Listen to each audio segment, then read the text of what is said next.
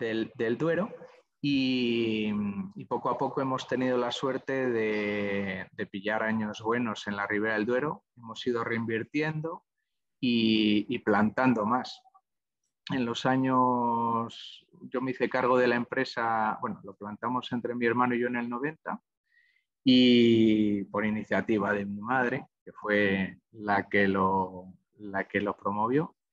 Y en el año 97 me hice cargo de, la empresa. En el 90 empecé a estudiar ingeniería agrícola y, ya en el, bueno, pues con, con, con, el auge del sector de la construcción justo en ese momento, dijimos, uff, aquí tenemos que construir la bodega para elaborar nuestros vinos. Y no había manera de, de que nadie nos lo construyera, los precios eran una locura. Y así empezamos. En el año 2000 fue la primera vendimia y, en el 2002 empezamos a salir al, mercado. Y desde ahí pues aprendiendo. Había preparado una pequeña presentación, no sé si por, por ilustrar un poco bueno, pues lo que alguna de las, de las cosas que os quería comentar y nuestras particularidades. Si os parece, lo, lo comparto. Sí. ¿Os parece? Muy bien, fenomenal. Pues ahora voy. Porque así podemos ver todo lo que nos han explicado del miedo y todo cómo son.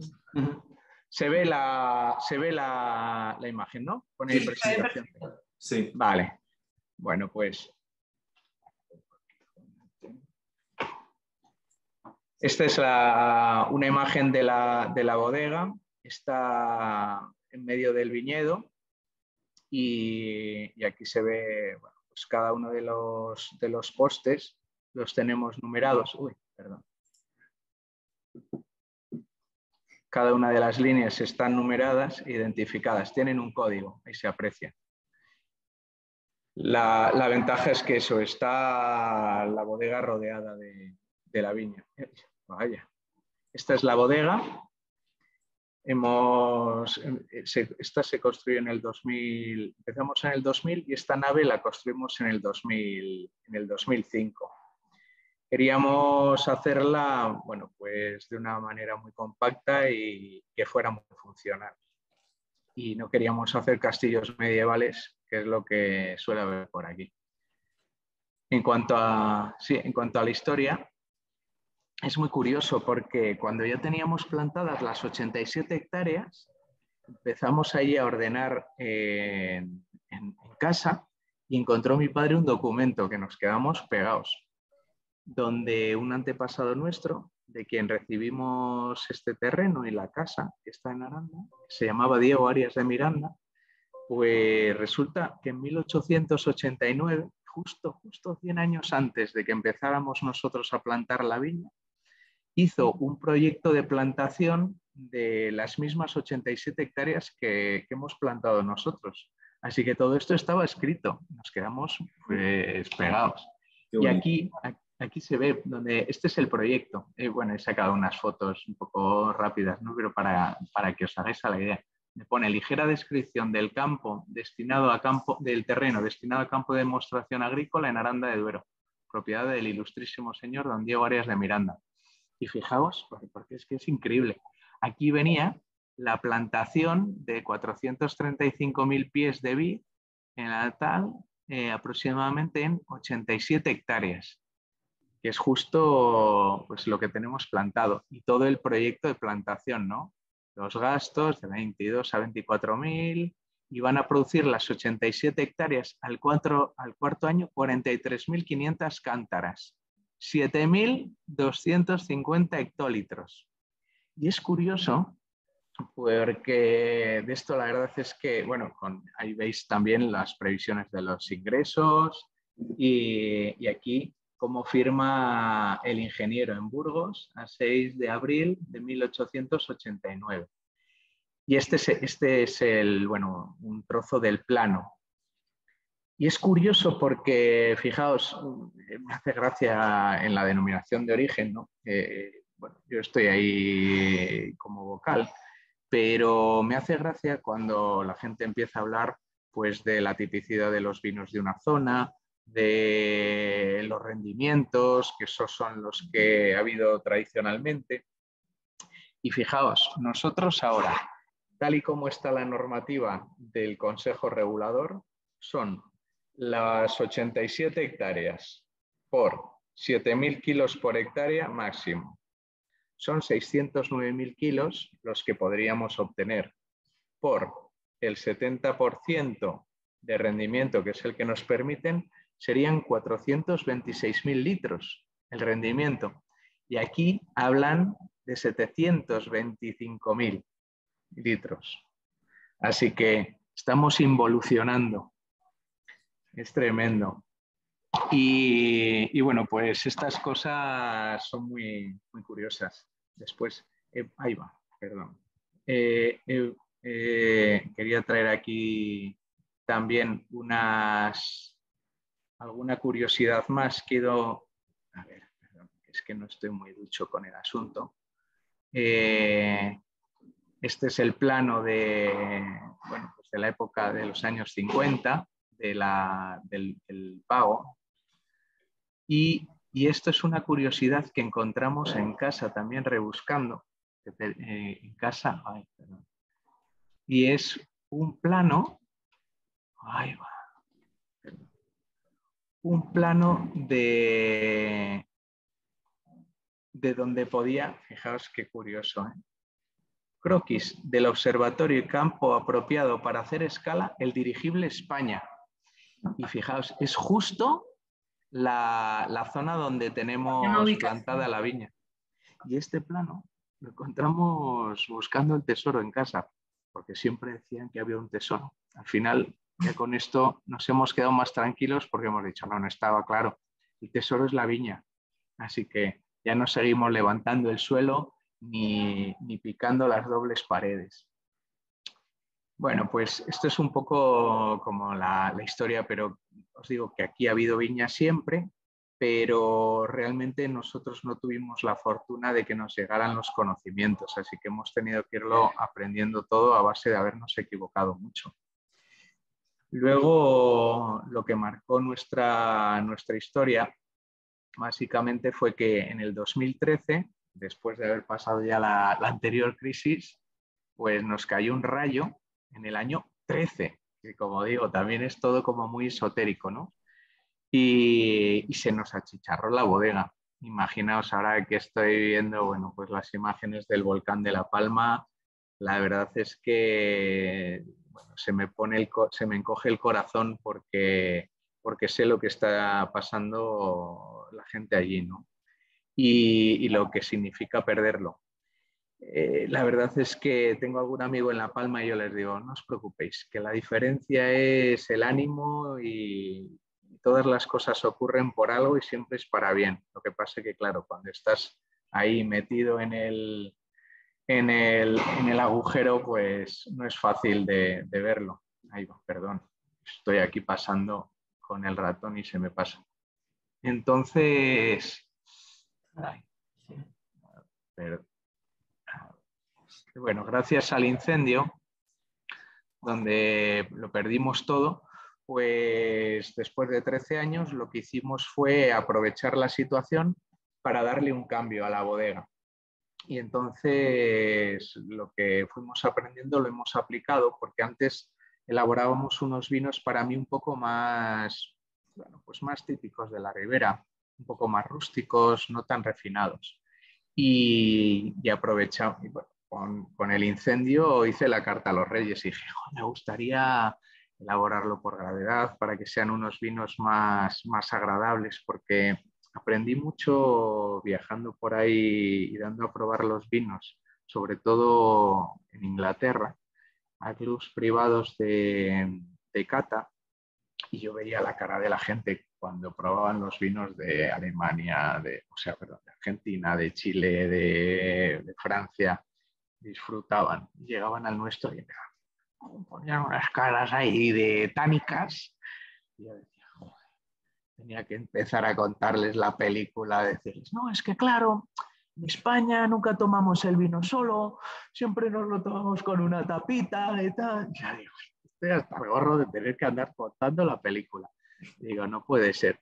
Y, digo, lo que tenemos que hacer es elaborar vinos más, más refinados. Y de, eso, y de eso aprendí. Entonces, como digo, hice la carta a los Reyes Magos y con eso, uy, perdón, y con eso, es que no lo controlo mucho, como veis, perdonad. Y entonces empezamos a elaborar por gravedad. Aquí se ven los depósitos y tanto el llenado de los depósitos como luego lo que son los movimientos de los mostos y de, la, y de, la, y, de los vinos los hacemos mediante los obis estos. Bueno, como veis, la, hacemos una selección previa de, a la entrada, que antes teníamos la típica tolva con un tornillo sin fin y nada, descargábamos y iba todo para adentro. Ahora ya lo tenemos todo, pues bueno, como, como queríamos tenerlo. Entonces, así es como se hace la carga. Y esta es una imagen de lo que es la entrada a la izquierda de la uva y luego cómo vamos haciendo los delestajes de, de los mostos.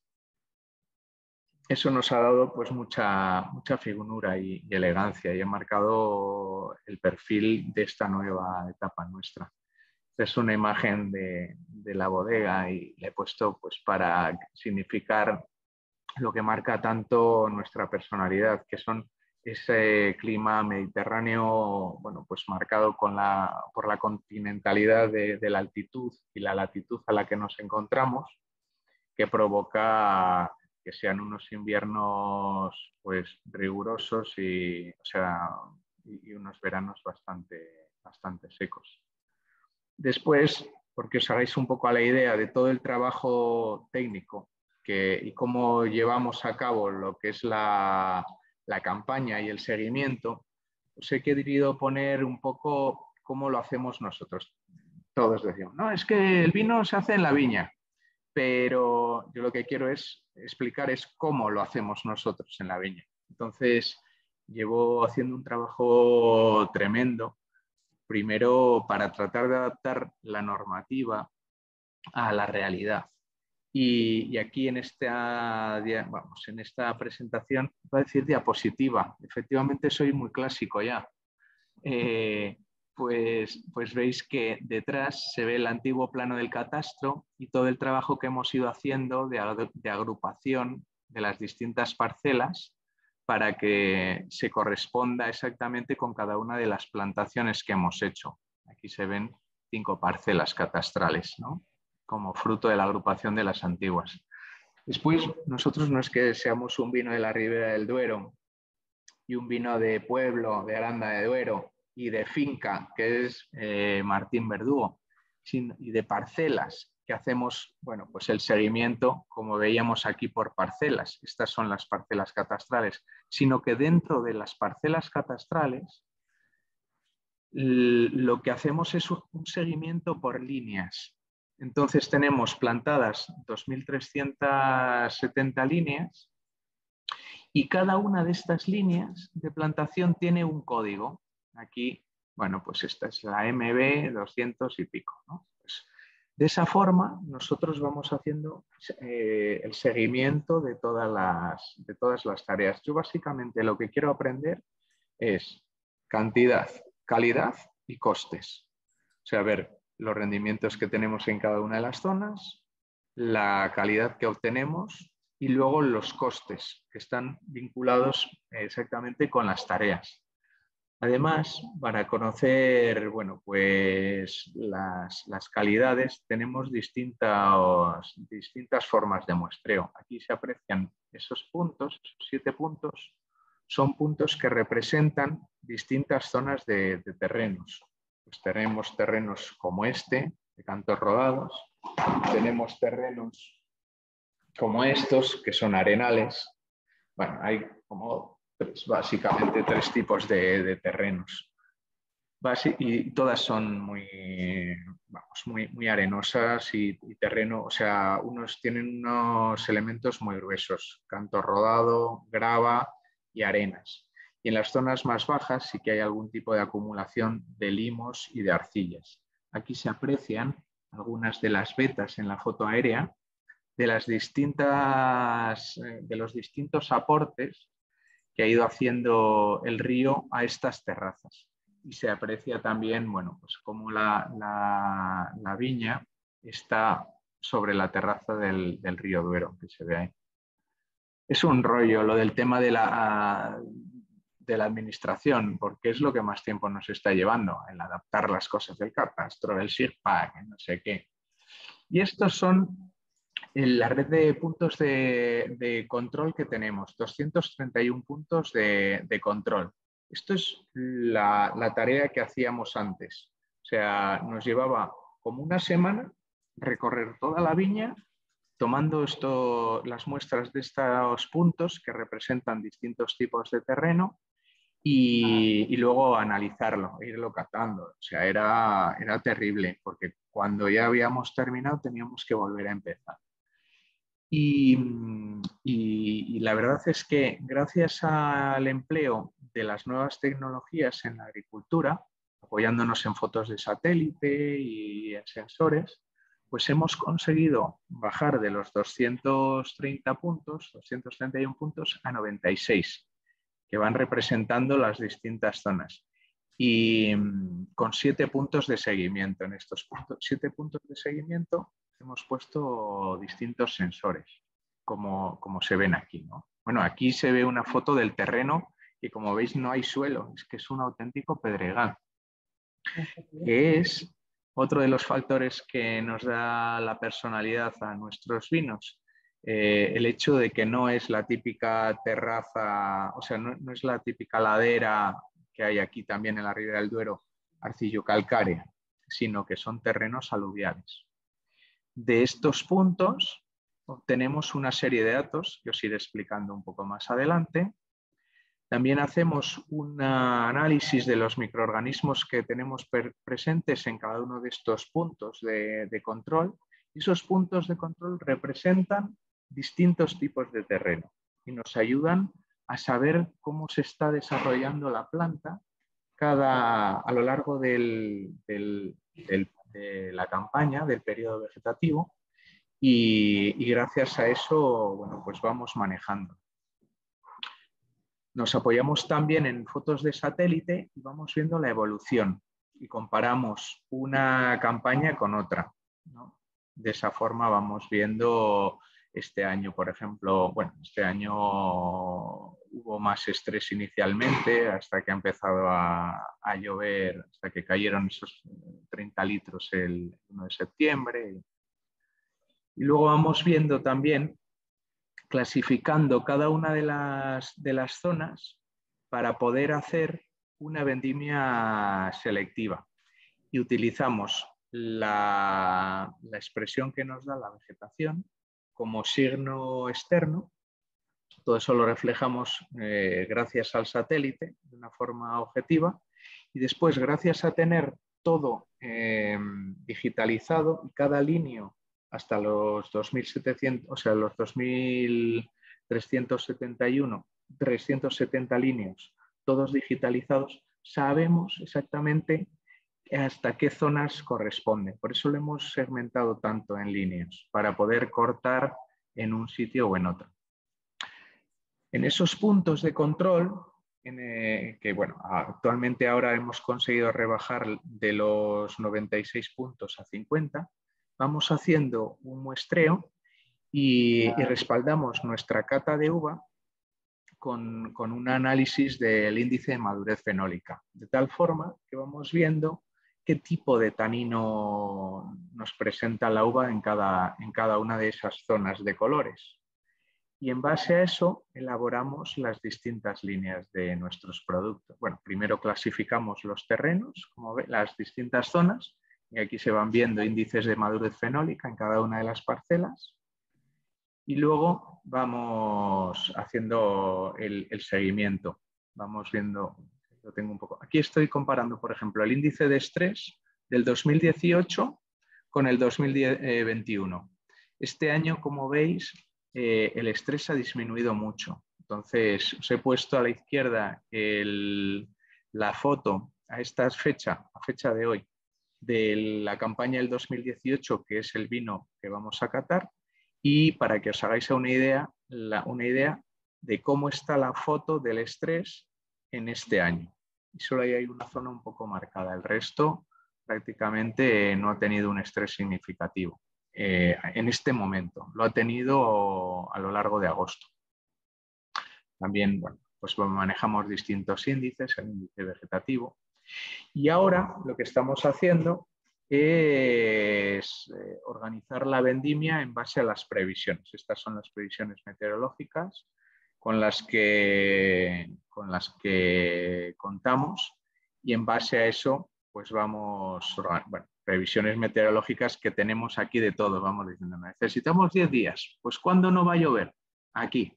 ¿Aguantamos hasta esa fecha? Fenomenal. ¿Qué tal va la evolución de todos los índices? Increíble. No, no, tenemos que esperar un poco más. Pues así, con distintas previsiones meteorológicas, pues eso podemos llegar a saber más o menos Aquí está, es del 9 de octubre, hasta el 9 de octubre, desde hoy, ya veremos. En principio, ahí parece que el, que el lunes eh, dice que, va a caer algo, pero con todo esto es muy cambiante. Pero ya tenemos una idea, por lo menos lo que queremos es irnos aproximando.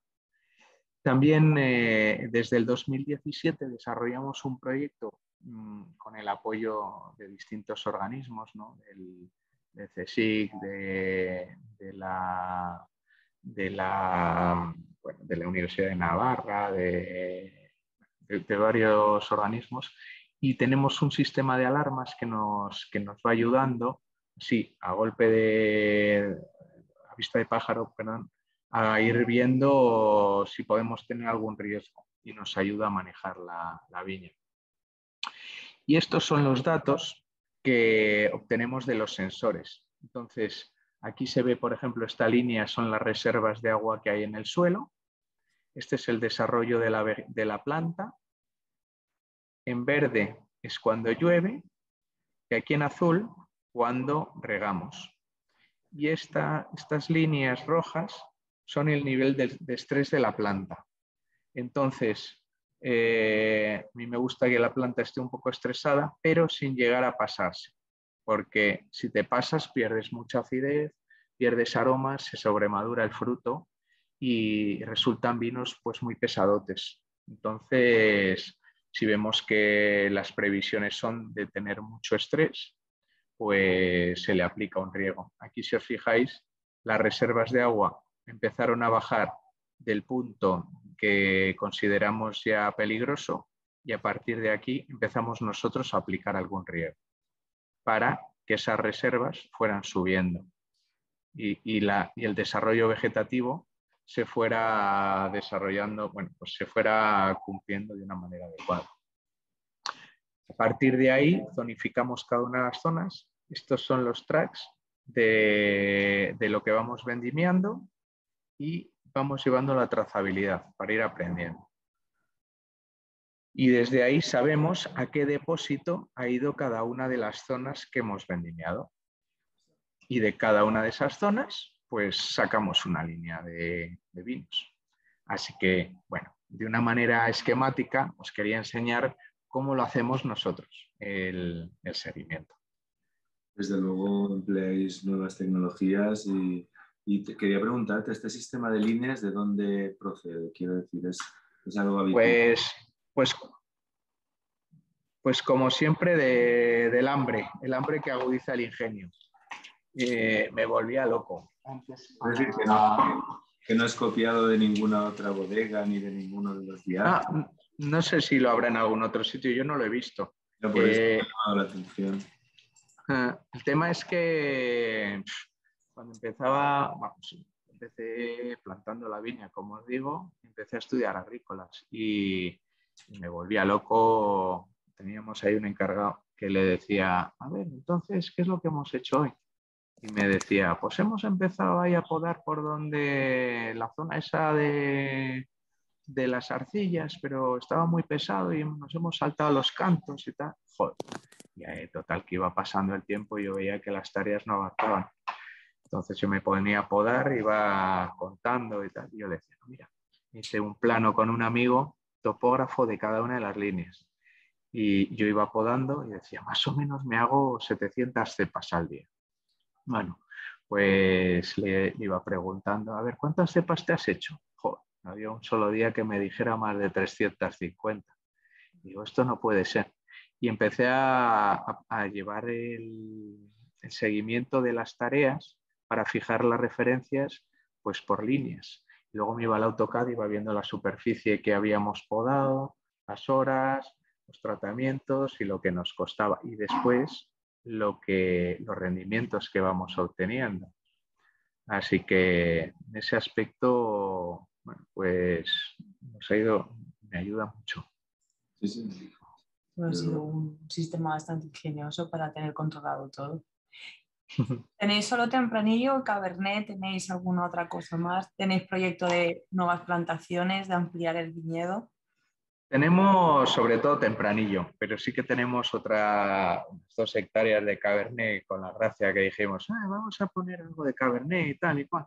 Joder, el cabernet que le tengo un paquete que es de miedo. Lo que pasa que poco a poco hemos ido cogiéndole el, punto también y, y, bueno, pues tiene su gracia. Estamos utilizando los años que nos madura bien, que en esta zona es complicado y tenemos que estar siempre manejando muy bien la vegetación, pues eh, la verdad es que sí que conseguimos que, nos madure bien y no tenga esa punta de esas, piretrinas que, nos dan esos, esos herbáceos, ¿no? ese, pimiento, ese pimiento verde y tal.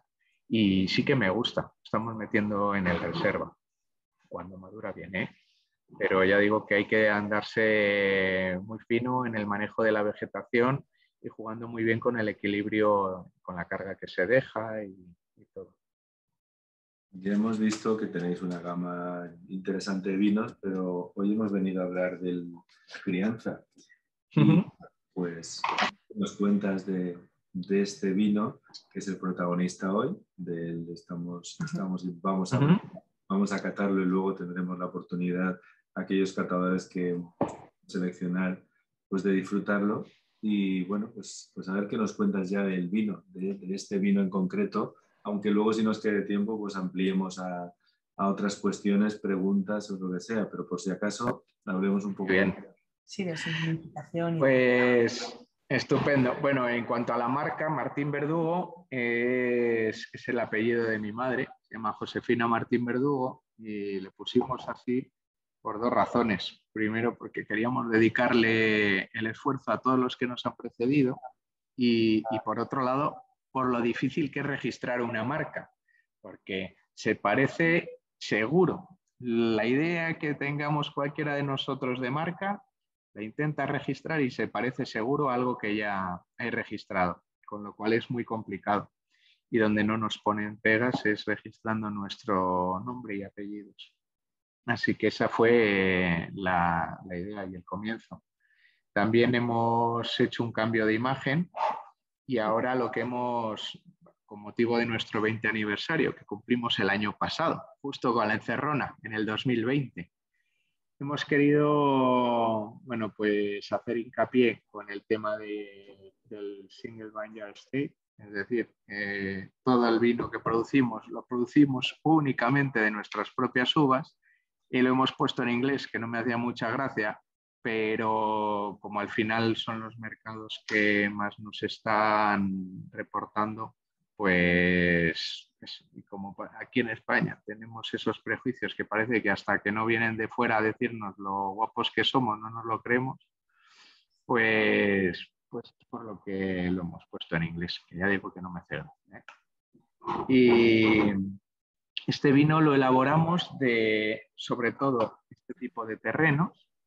Son unos terrenos con, lo ves, y, no hay terreno. Son piedras. Es un auténtico pedregal. Tiene bastante grava y, arenas. Lo que pasa que como a los tres metros hay una zona de, o sea, hay un estrato de arcillas con incrustaciones calizas, o sea, con, perdón, con un estrato de arcillas y encima de esas arcillas hay un estrato de gravas con incrustaciones calizas. Entonces ahí hay una zona muy, mucho más fresca.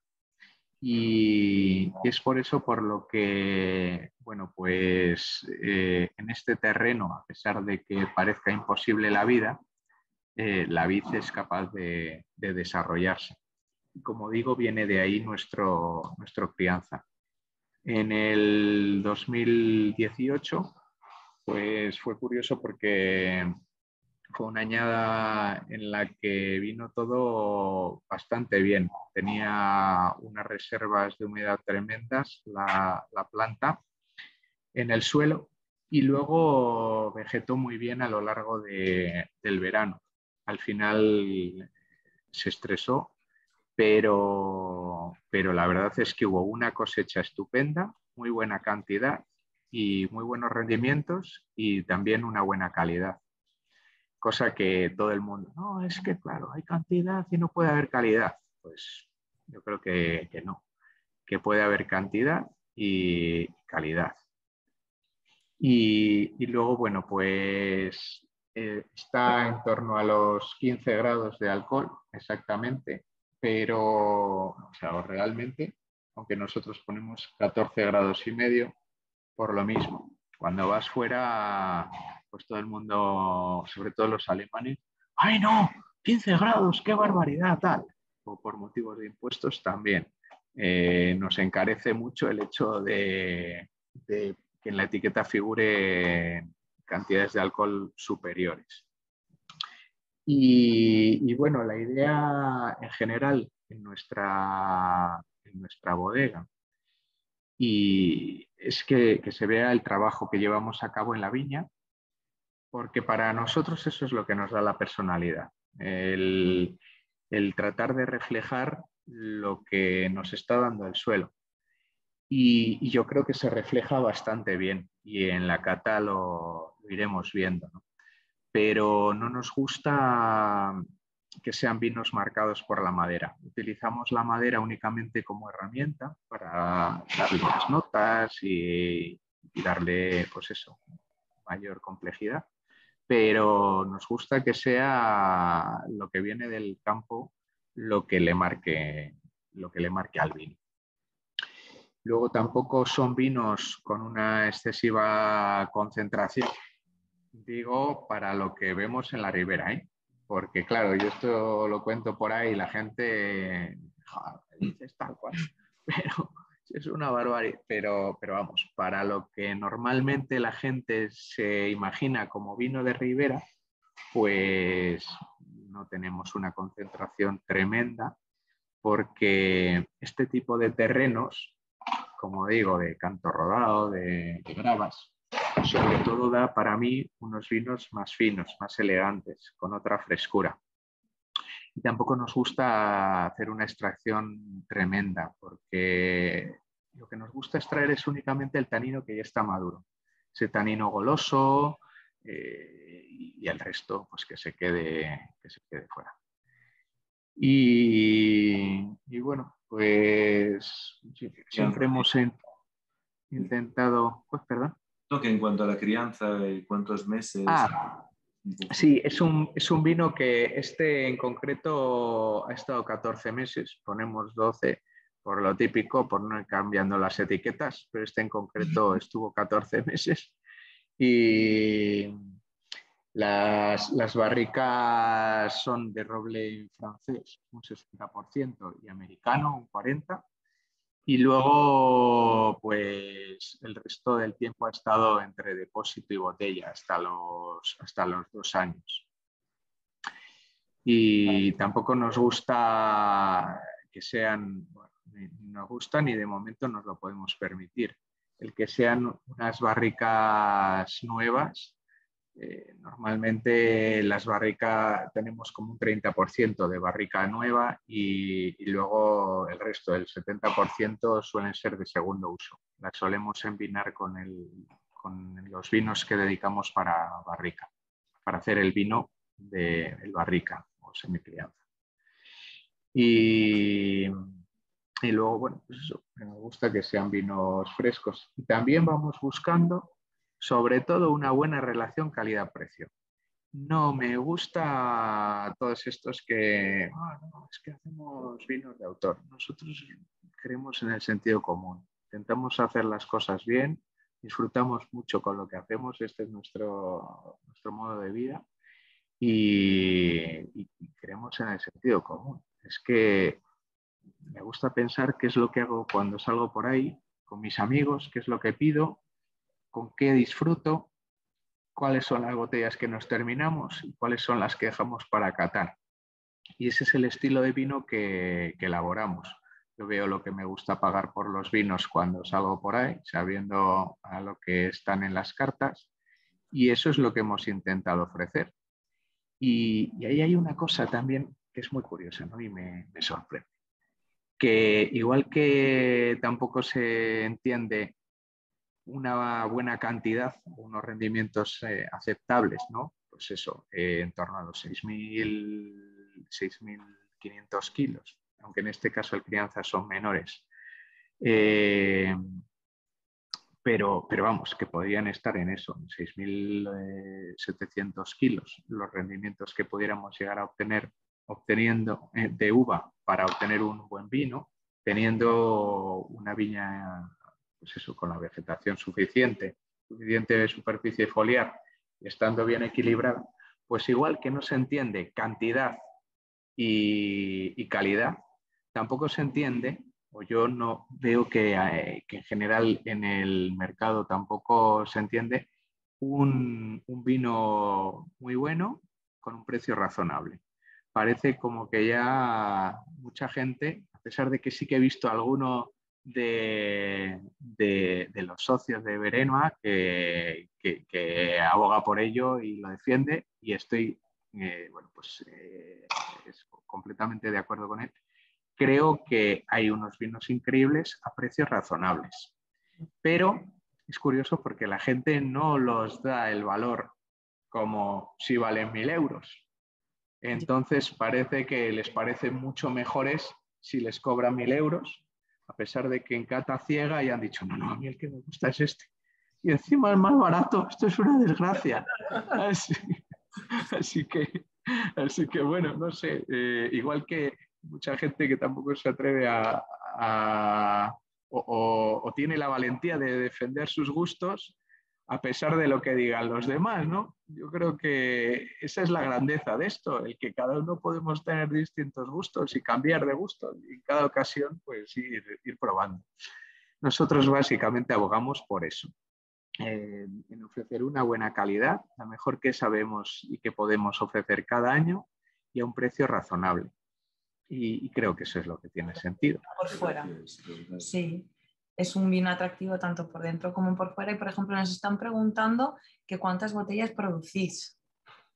Pues en total nosotros podríamos llegar a producir medio millón de botellas de, los distintos vinos únicamente de nuestra propia viña y en concreto del crianza 50.000.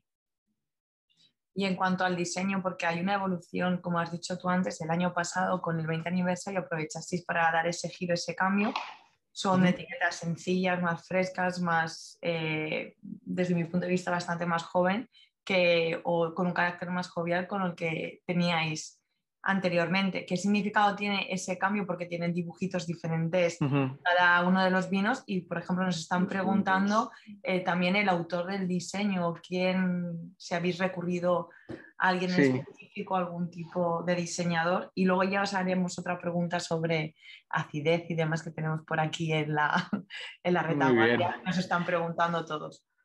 Pues mirad, eh, es curioso porque con respecto a eso, nosotros teníamos de siempre, bueno, pues no sé, igual alguno lo, ha visto, ¿no? Pero nuestra crianza, la etiqueta tenía dos partes, la parte de abajo así como color plateada y la de arriba era pues de un color negro con los puntos rojos y tenía dos partes porque, bueno, una parte de abajo que era como más clásica, representaba a mi madre, que es quien empezó, y los diseñadores dijeron, oh, esto es muy, muy rancio, tenemos que poner una parte un poco más moderna que os represente a vosotros. Y añadió, añadieron la parte de arriba con los puntos, ¿no? Y, Y fuimos de las primeras bodegas o la primera en Ribera del Duero en tener una imagen un poquito más actual, más, más moderna, ¿no? porque queríamos ofrecer un estilo de vino también más fresco, más frutal. Estoy hablando del año 2002, ¿eh? Y cuando empezamos. Y luego que, que captara la atención del público hacia el que nos íbamos dirigiendo. Eh, que era pues eso, el tipo de público pues como cuando empezamos nosotros, eh, de una edad media. y total que, bueno, pues empezamos así, como digo, llamó mucho la atención y ya a raíz de, tener el cambio de, de, elaboración por el incendio, pues empezar a elaborar por gravedad, pues los vinos mejoraron muchísimo a lo largo de, bueno, seguimos aprendiendo, como digo, todos los días, gracias a Dios. Pero, pero fue abismal el cambio de, a partir del 2014, el año 2014 que empezamos a incorporar las nuevas técnicas y, como digo, a elaborar por gravedad. Y entonces, claro, salíamos al mercado y nos decían, joder, pero ¿cómo está este vino? Si está espectacular, pero vaya cambio, pero está buenísimo. Y bueno, pues estábamos contentos con el resultado pero mucha gente, pues desgraciadamente no nos dan la segunda oportunidad y, te ponen los prejuicios. Y, no, yo me acuerdo, pero es que tenía precipitados el vino, es que tal. Y dijimos, joder, hay que hacer algo. Y entonces, con motivo del 20 aniversario, dijimos, bueno, nos renovamos, renovarse o morir. Y, y, justo hicimos el cambio de la imagen y ¡pum! Nos encierran en casa. Y nos ha mirado un tuerto pero a pesar de todo, la verdad es que ha tenido mucha, mucha aceptación y ha gustado mucho. Y con respecto a los símbolos, bueno, con, respecto al diseñador, eh, es, un, es un artista que a mí me encanta, se llama Son Macawi y, tiene, emplea las técnicas del collage. Y, entonces va recortando revistas antiguas de los, de los años 20, 50 y tal, iba haciendo composiciones y nos, chifla. Y lo que queríamos era, por un lado, mantener las denominaciones clásicas, que también es otra de las cosas, todo el mundo ahora, no, eh, le pone un nombre con apellidos y es que este es el vino, que no sé qué, tal particular. Y es verdad que todos los queremos a los vinos como si fueran nuestros hijos, pero es que mm, yo creo que las bodegas estamos haciendo las cosas demasiado difíciles y, resulta muy complicado transmitir eh, como unas pautas donde la gente pueda tener cierto criterio para no entrar con miedo en el mundo del vino. Y, y entonces nosotros por eso hemos querido mantener las denominaciones clásicas de crianza, reserva, joven, pero con un aire nuevo, que es lo que le ha dado la, la imagen más fresca porque además creo que esto nos ha marcado siempre en los vinos españoles, eh, el, hecho de, marcar las líneas en función del envejecimiento. Y eso por ahí no lo tienen y nos lo tratan de, copiar. Entonces, a mí yo creo que debemos de defender lo nuestro y, por eso es por lo que lo hemos, adoptado. Y con respecto al, símbolo, pues le, hizo gracia al diseñador y pensó en la crianza, la crianza, pues eso, que se lleva a cabo dentro de la botella y dentro de la madera. Y por otro lado, la crianza, y lo simbolizaba eso, con el cuidado de, del pajarito con, sus polluelos. Así que, bueno, si, viéramos toda la gama, pues cada etiqueta te va marcando una historia eh, lo que quería el artista es que fueran como micropoemas, como poemas ilustrados y, tomar un poco el espíritu que teníamos nosotros antes, que hacíamos un concurso de microrelatos sobre la felicidad, que poníamos en las leyendas. Entonces, bueno, pues se lo íbamos contando y nos decía, no, es que yo lo que quiero con las ilustraciones es lo mismo, que cada uno le dé una interpretación a mí me encanta porque cuando vi toda la serie, pues para mí es como la evolución en la vida y las distintas inquietudes que vas teniendo. Pero es curioso escuchar a cada uno lo que le va diciendo. Y, e igual que en las catas, a mí tampoco me gusta decir lo que para mí es, o bueno, me lo preguntan lo digo, por supuesto, pero creo que igual que cuando se lee un libro, lo bonito es que en cada época de tu vida un libro el mismo libro te va diciendo cosas distintas y según tus circunstancias también te van hablando y te van contando distintas cosas. Entonces, bueno, pues me gusta porque creo que da mucho, mucho juego. Es muy sencillo, pero le puedes dar eh, un montón de vueltas. Y, y, en definitiva, es la excusa que para mí deben de tener todos los vinos. El pretexto ideal para iniciar una buena, una buena charla eh, inicialmente con, bueno, pues con cualquier tema banal y terminando pues de, bueno, filosófico, o sea, con una charla filosófica y metafórica y arreglando el mundo. Así que... Como, conocemos ya, como conocemos ya por fuera el vino, vamos a conocerlo por dentro. Y si que nos quedaba una de las preguntas, la guardamos para después las preguntas vamos a técnicas. el vino Sí. Muy bien. Ponemos en el foro luego. Hemos quedado con algunos foreros en avisarles de que vamos a catarlo, porque como ellos tienen que esperar al, a catarlo en el foro, pues hay alguno que dice que prefiere no estar en este momento para, para que no le influyamos en su juicio. Oye, luego, qué asépticos. Entonces empezamos, empezamos ya, tenemos aquí, nosotros lo hemos abierto, ¿eh? Lo hemos ah, Bien, qué aplicaditos. Es que no sé hacer dos cosas a la vez. Hablar y abrirlo es posible. Nosotros al ser, dos tenemos más, más posibilidades. Y vamos a... Es un aspecto de la cata nueva que es lo bien que suena cuando cae en la copa. Yo a veces... Hay que completar, hay que completar los sentidos, desde luego. La fase auditiva. Bueno, el sacacorchos no funciona bien, ¿eh? El sacacorchos... me voy para no oírlo, para no ser influido por vuestra opinión. Chao. vale. Hasta luego.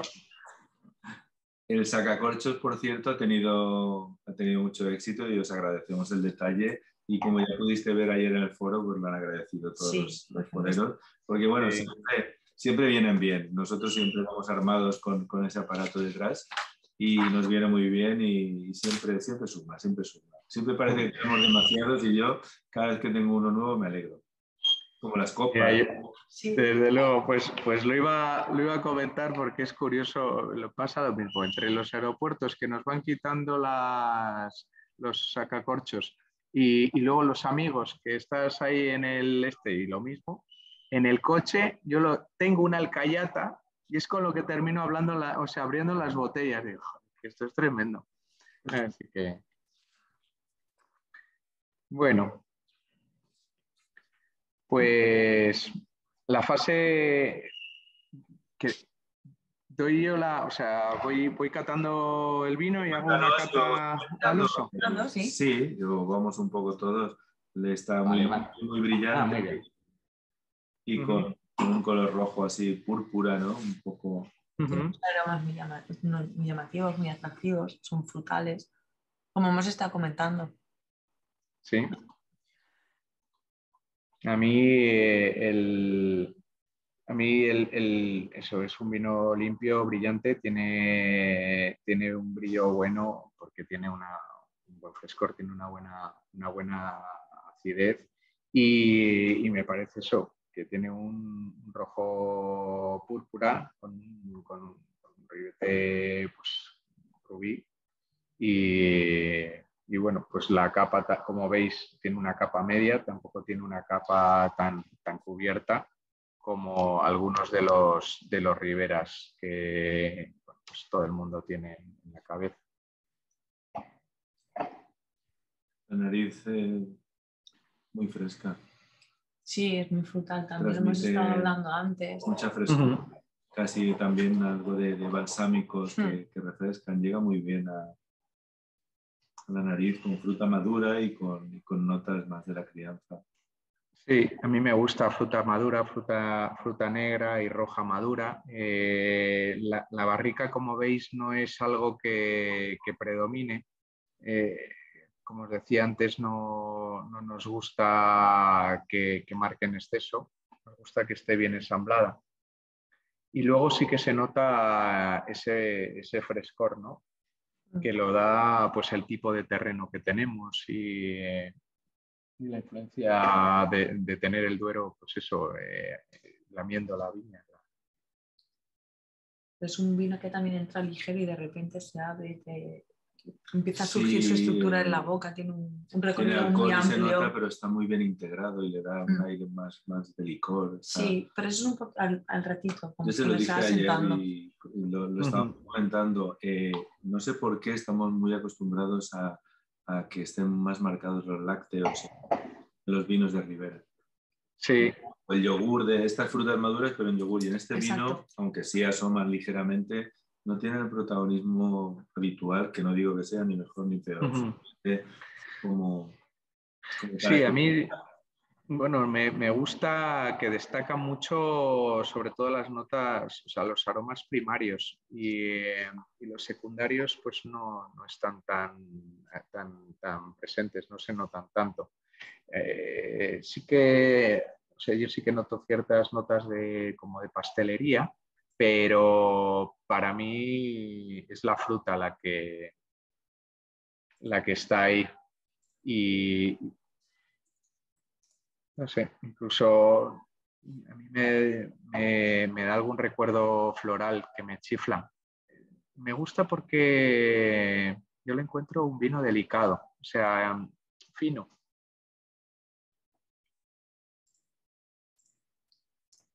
Aparece, sí que aparece algo de, de- de lo que son vainillas, algún tostado, incluso las notas de, de un poco de cacao, de. Sí, los, los tostados que utilizamos en las barricas, sobre todo, bueno, suelen ser tostados ligeros o medios. No nos gusta ir a, a unos tostados plus en las barricas, precisamente por eso, por respetar el, el trabajo del campo. Sé, también me da a mí como unas notas, ciertas notas eh, licorosas. Mm.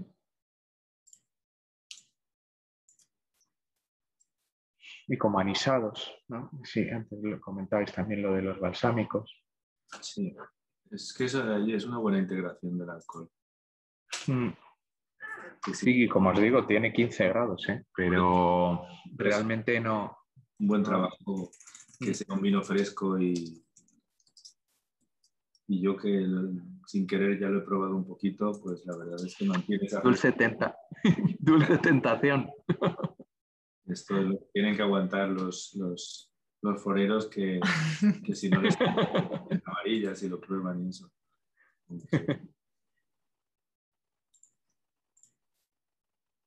A mí eso me resulta un vino sobre todo muy fresco y elegante y creo que no es muy habitual en la Ribera del Duero eh, este perfil.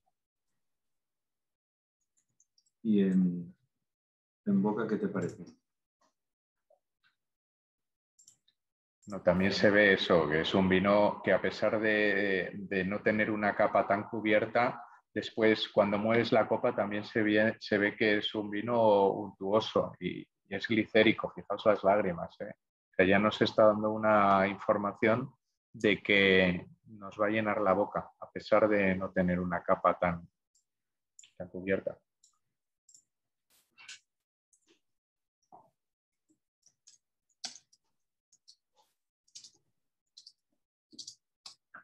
Se nota más en, en retro, se nota más la- un poquito más la crianza, eso con especia dulce, con el cacao y el chocolate, pero manteniendo la fruta madura como, como un poco eje que, que marca, que marca el paso, ¿no? Para mí tiene una entrada en boca muy agradable y es amplia, te llena bien la boca. Eh, me parece que es un vino muy redondo, no, no le encuentro No, el aristas. Eh, el, ta- el tanino, yo veo que es un tanino bien pulido y, y es un vino que tiene longitud y que te llena bien la, la boca. Eh, el, el recuerdo que me, o sea, bueno, pues creo tiene un muy buen frescor eh, y, y luego el, el recuerdo que, que te queda en la boca para mí es de fruta madura, que es lo que ya percibimos en, en nariz. ¿no? también tiene esas notas, esas notas de la barrica que, lo prolongan.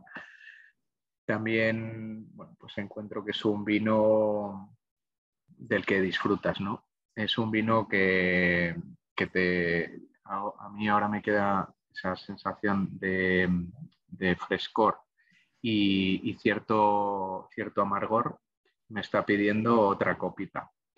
Eh, y eso que estamos aquí a palo seco. Luego este ya no es de esos que cuando vas por ahí te dicen eso de ya no tienes que buscar excusas de decir que, hay que ponerle, hay que añadir alimentos, ¿no? Este ya, sí. este ya, ya puede... va todo, aquí ya va todo en uno, va el pincho y el vino. Me resulta muy agradable porque ahora, por, por ejemplo, en boca, sí que me salen pues ciertas notas florales eh, como delicadas, eh, además de, esa fruta madura.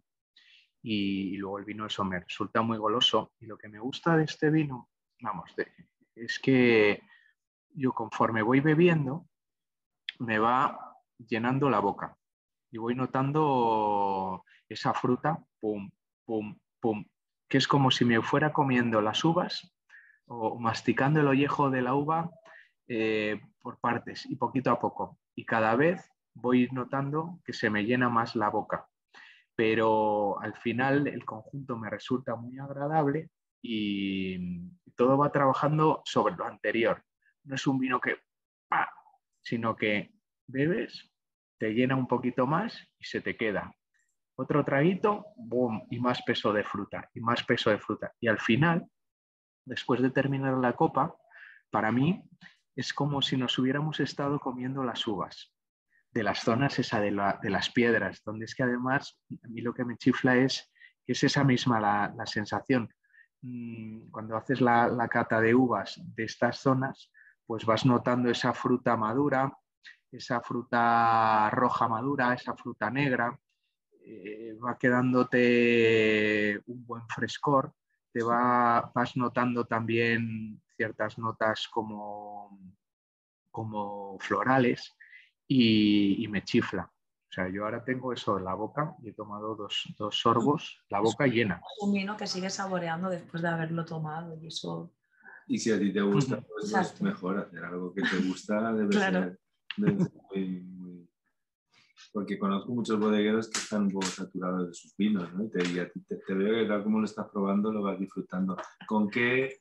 Aparte a mí me gusta, pero todo, pero, pero no es el vino ideal, ¿eh? O sea, cada día, o sea, le sacas un montón de defectos y dices, joder, esto hay que mejorarlo, esto no puede ser.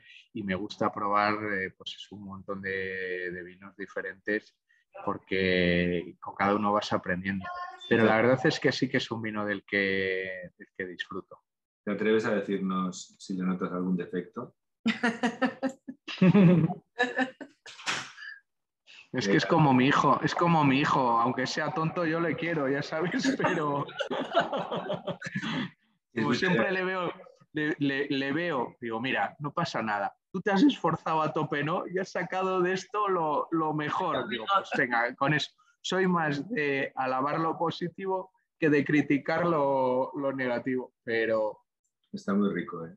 Y además, creo que tenemos que decir aquí, o que nos digas tú, eh, cuál es el precio de venta en tienda, porque creo que es algo que tú has resaltado y algo que tenéis muy en cuenta en todo el proceso de elaboración y de acabado del vino. Y bueno, pues, es importante saber. Pues, normalmente estos vinos suelen estar entre 11 y 12 euros en, vamos, en, en, la, en la, tienda. La tienda pues no sé si te has dado cuenta, pero ya estamos con la virtual en el ordenador, esta de la que hablamos ayer, que, debutaste y empezaste a escribir. Y... Bueno, es que me, encanta, la, forma. ¿eh? Ahora ya van a empezar los compañeros a entrar y nada, nosotros, si tienes alguna pregunta más o... No, si pensamos ya porque ya están entrando, y ya, hay movimiento. Y si queréis, ha quedado una o dos preguntas un poco colgadas que nos han estado haciendo en, la presentación y las escribo ahora en preguntas técnicas y las respondemos en el foro. Genial. Nosotros ya eso, vamos a cerrar el directo, si te parece bien, o quieras añadir, o la despedida que nos quieras decir. Estupendo. Y nos vamos todos al foro a, a seguir disfrutando del vino con, todos los demás y a someterte pues, a ese examen que ya te digo que estás ante catadores muy reconocidos que llevan muchas virtuales, muchos vinos y que, bueno, pues es, es, un riesgo que corréis los que os presentéis a las virtuales y que, bueno, espero que os sirva para, para, para lo bueno y, para, también para, para, mejorar y para, y para cualquier cosa. De eso se trata al final nuestra, nuestra labor. Genial, pues nada, yo simplemente os quiero dar las gracias a todos por este tiempo que nos estáis dedicando, por, por lo disfrutones que sois, porque me encanta la actitud que, he visto y, bueno, veo aquí que os están gustando las diapositivas, estoy muy contento. Eh, encantado, me, chifla porque además de esto aprendo y bueno, pues es lo que me gusta el que todos los días tienes algo nuevo aquí y, eso es lo, que nos posibilita el, vino. Así que nada, veo aquí que, está todo el mundo dando las gracias. Muchísimas gracias a vosotros. Estoy encantado y os quiero invitar a que vengáis aquí a la bodega a visitarnos. Aquí tenéis vuestra casa en Aranda, en Martín Verdugo, y, esto sobre el terreno sabe más rico. Así que nada, animaros y os venís a vernos. ¿eh? Pues iremos a disfrutar. Iremos a disfrutar. Salud, Antonio. Muy bien. Muchas gracias a todos. Y hasta la próxima ocasión en que, podamos compartir momentos como este o otros también. Bueno, pues muchas gracias a todos. Salud. Gracias. Hasta luego. Adiós. Hasta luego.